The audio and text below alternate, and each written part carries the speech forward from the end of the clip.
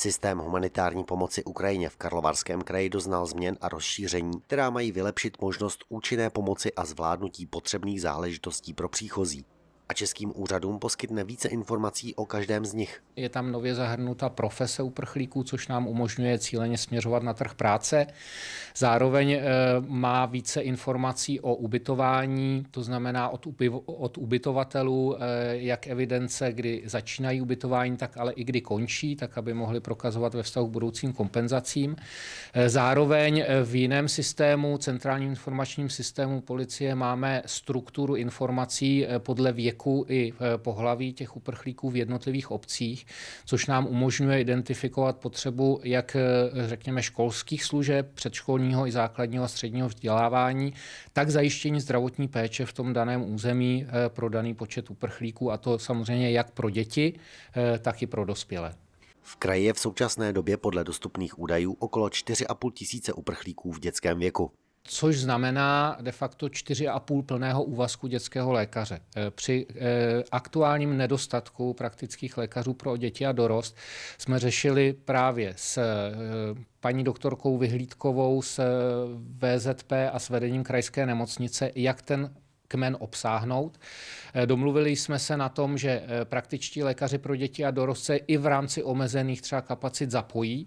Eh, budeme trošku segmentovat tu péči jednak pro děti od 0 do 5 let, kteří tu odbornost potřebují, řekněme, opravdu vysokou, těch praktických lékařů pro děti a dorost. Těch starších dětí samozřejmě i dětští lékaři, ale zejména i s pomocí Karlovarské krajské nemocnice a dětských lékařů tam v rámci UA Pointu bychom si to měli rozložit. Takže na nějaké hraně až za hranou kapacit to chceme zvládnout. Počty nově příchozích uprchlíků postupně klesají, uvažuje se o přesunu krajského centra pomoci do menších prostor. V době největšího náporu procházela centrem téměř tisícovka uprchlíků, nyní se počty pohybují okolo 100 až 150 lidí. K 9. dubnu prošlo registrací 11 130 Ukrajinců.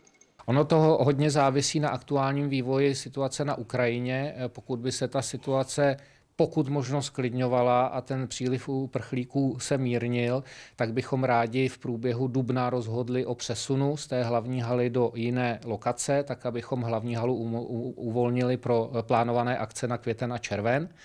Eh, zároveň jsme obezřetní k tomu, že kdyby situace na Ukrajině stále eskalovala, tak se můžeme zase dočkat nějakého skokového nárůstu. Byť se spoleháme i na humanitární eh, koridory Evropské unie, které by měly směřovat eh, dopravu uprchlíků z ukrajinských hranic dále na západ do dalších zemí, Německa, Francie, Benelux, tak aby se ta zátěž v Evropské unii vyrovnala.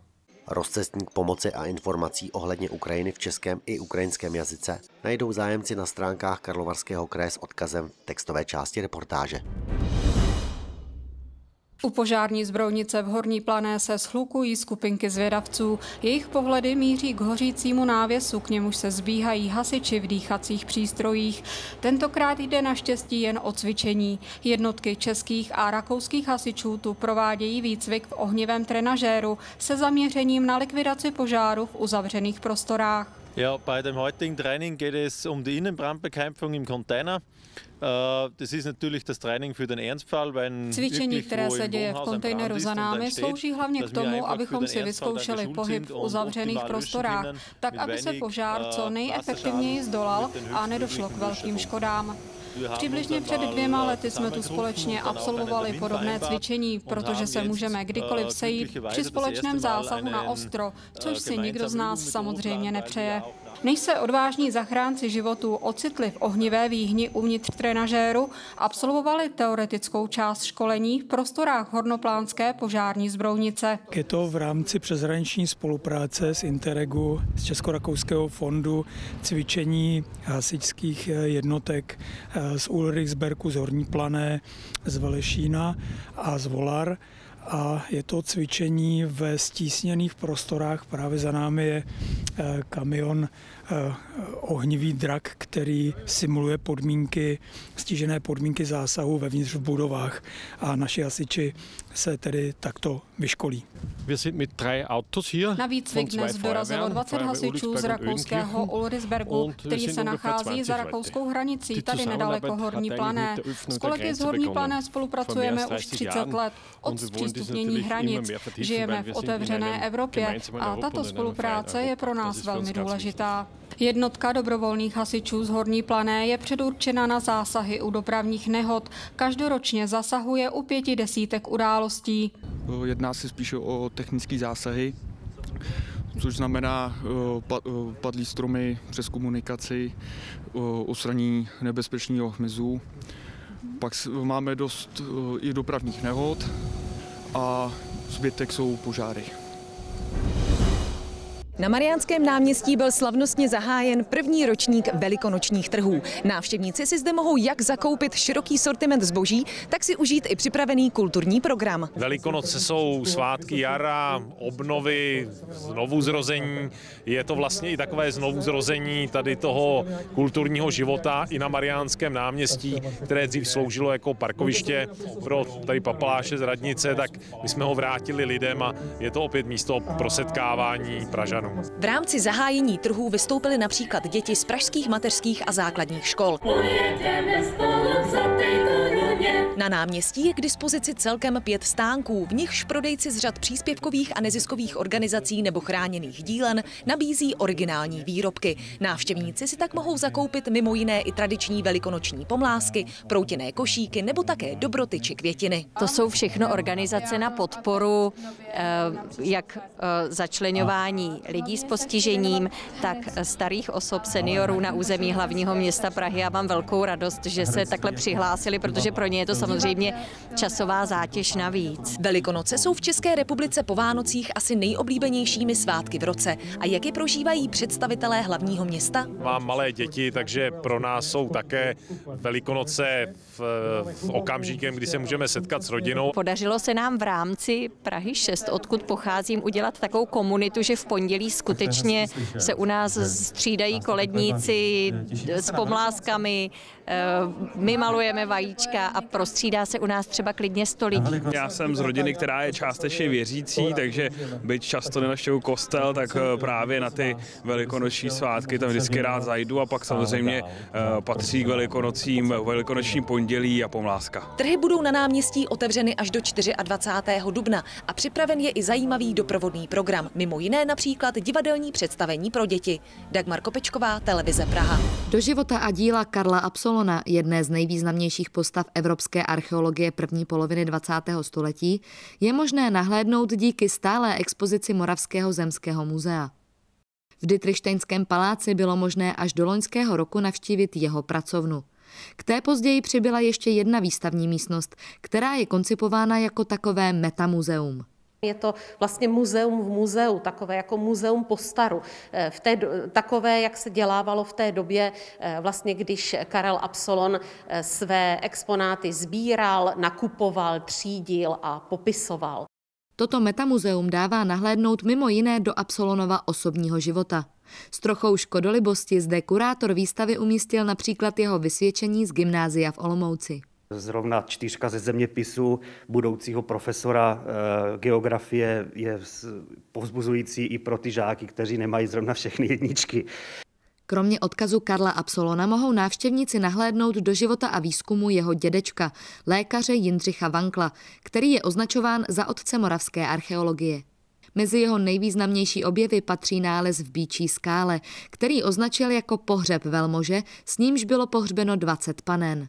Máme zde jednu z lebek, která byla v Bíčí skále nalezena, kterou si Jindřich Vánkl nechal doma a nazýval je jako princezna z Bíčí skály.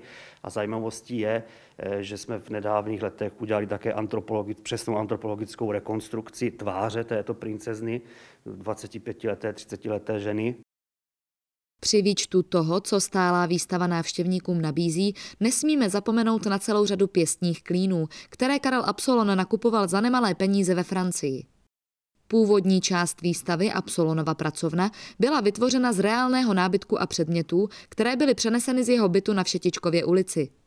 Součástí jsou také mapové podklady pro jeho jeskyní výzkum a předměty spojené s jeho vášněmi. On je považován za jednoho ze zakladatelů vědecké fotografie u nás, takže jsou zde jeho osobní fotoaparáty a samozřejmě také eh, fotografie. Eh, pak eh, to byl výzkum jeskyního hmyzu, v čím on byl průkopník a je to asi tak nejméně známé, co se týče jeho osobnosti. Celá výstava nabízí možnost připomenout jak dospělým, tak dětem přínos muže, kterého možná doposud znali pouze jako objevitele věstonické Venuše. Byl to dlouholetý pracovník Moravského zemského muzea, byl to člověk, který velmi se významně zasadil o to, že vznikl pavilon, pavilon Antropos. Také díky tomu si Karel Absolon vysloužil tuto stálou expozici. Muzeum má však k dispozici z jeho života a výzkumu ještě mnohem víc, takže při další návštěvě mohou být exponáty částečně vyměněny. To zaručí, že se návštěvníci dozvědí vždy o kousek víc. Jana Holubová, televize Brno 1. Zlínský hokej se vrací ke klubové struktuře. Ta vznikne díky personálnímu propojení jednotlivých orgánů ve společnosti Berani Zlín a tým a zapsaném spolku HC Berani Zlín. Budou tak nastaveny jasné pravomoci a zodpovědnosti jednotlivých osob ve vedení. Zrušeno bude představenstvo spolku, prokura společnosti, rada jednatelů, prezidium a tím i reprezentativní post prezidenta, který dle zvyklostí zastával primátor města. Řešili jsme právě jak s hokejem dál, protože jsme si vyhodnocovali z pozice vlastníků jako neúspěšnou sezonu, ve která, která vyústila v sestup z extraligy do první ligy. S tím, že jsme řešili samozřejmě strukturu klubu a vůbec jak s tím dál, protože jsme vnímali, že vlastně by měly dojít nějaké změně a bylo pak, nastalo pak jednoznačná zhoda na názoru města, když to řeknu, který jsem předkládal právě já radě města Zlína a získal podporu města Zlína následných vlastníků k tomu, abychom zrušili všechny kolektivní orgány, kromě dozorčí rady. Prvním krokem je obsazení pozice výkonného ředitele společnosti Berani Zlín, který bude zároveň generálním manažerem. Vybrán bude na základě veřejného výběrového řízení. Chceme, aby ten Zlín šel nějakým směrem a opravdu zase všichni za to zodpovídali, všichni víme, kdo bude mít jaké pravomoce a následně na základě toho, kdyby byly nějaké problémy, tak se dají vyústit jasné, jasná stanoviska a případně i jasné změny. Následně se určí manažer, který nastaví dlouhodobou sportovní strategii a vizi a také manažer mládeže. Ten pak přinese vize i herní styl do mládežnických celků.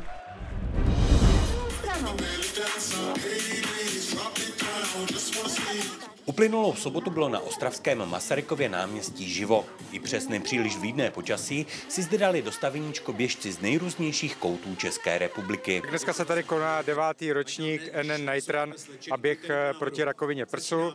Máme tady čtyři vložené závody, eh, dětské závody Cup, eh, rodinný běh Nutren Family Run. Účast na největší tradiční běžecké akci ve městě byla velice slušná v době pocovidové, což je zrovna tenhle rok, jsme rádi za každou účast. Máme tady zhruba tisíc startujících, což je super a budeme rádi, když tady bude příští rok, který bude desátý ročník. Já jsem absolvovala v rámci Night 5 a 10 kilometrů a teď před chvilkou jsem doběhla Family Run. Ostravu mám moc ráda, byla krásná, až na pár kostek, které úplně nejsou příjemné na nohy, ale byla hezká. Já mám ráda tohle počasí, hlavně ať neprší a nefouká, ale dobře. Dva, jedna, Akce měla charitativní podtext v podobě pětikilometrového běhu proti rakovině prsu.